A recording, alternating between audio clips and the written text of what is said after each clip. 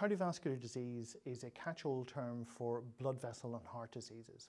And usually people talk about heart disease such as heart attacks or strokes when they discuss cardiovascular disease. We know that uh, the biggest issue and the biggest link between uh, alcohol and cardiovascular disease is that drinking excessively increases your risk quite significantly. Hypertension or high blood pressure is clearly linked with excess alcohol intake. We know that those people who drink excessively develop higher pressures within their blood vessels, and this increases the chances of damaging the lining of the blood vessel.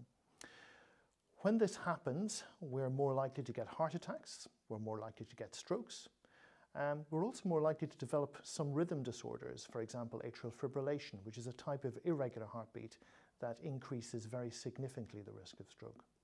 We're also more likely to develop pump failure. The left ventricle, our main pumping chamber in our heart, is more likely to fail, become less efficient with excess alcohol intake.